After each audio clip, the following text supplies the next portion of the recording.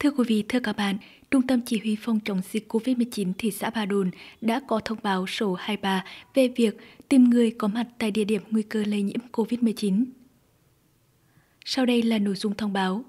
Cộng hòa xã hội chủ nghĩa Việt Nam độc lập tự do hạnh phúc Ủy ban nhân dân thị xã Ba Đồn, Trung tâm Chỉ huy phòng chống dịch COVID-19 thông báo khẩn số 23 về việc tìm người có mặt tại địa điểm nguy cơ lây nhiễm COVID-19.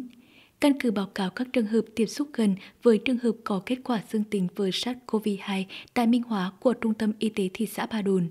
Trung tâm Chỉ huy phòng chống dịch COVID-19 thị xã Ba Đồn thông báo những ai đã tiếp xúc hoặc đến các địa chỉ sau trong thời gian từ ngày 24 tháng 10 năm 2021 đến ngày 31 tháng 10 năm 2021. Thông tin trường hợp có kết quả dương tính với SARS-CoV-2 tại Minh Hóa, Trương Xuân Tê, nghề nghiệp làm đá tại công ty Trong Kim.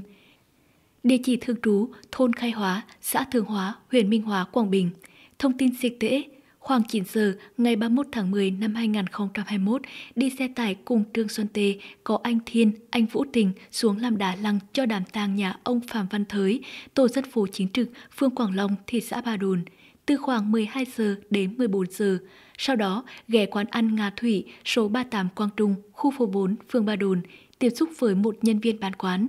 Sau đó, quay về thị trấn Quy Đạt, tối về lại Thường Hóa, Ngày 2 tháng 11 năm 2021 xuất hiện sốt, ớn lạnh, sổ mũi, đến khám tại trạm y tế xã Thường Hóa, được cho thuốc về nhà tại Thường Hóa.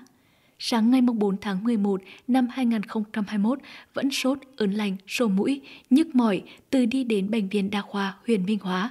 Tiến hành khai báo y tế, test nhanh COVID-19 có kết quả dương tính với SARS-CoV-2 được Bệnh viện Đa khoa Minh Hóa chuyển vào khu cách ly tại bệnh viện.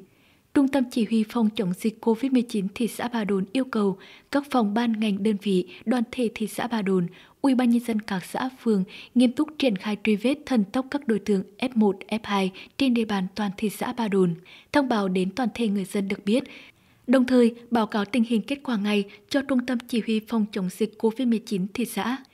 Chỉ huy trưởng, Chủ tịch Ủy ban nhân dân thị xã Đoàn Minh Thọ đã ký. Hết nội dung thông báo.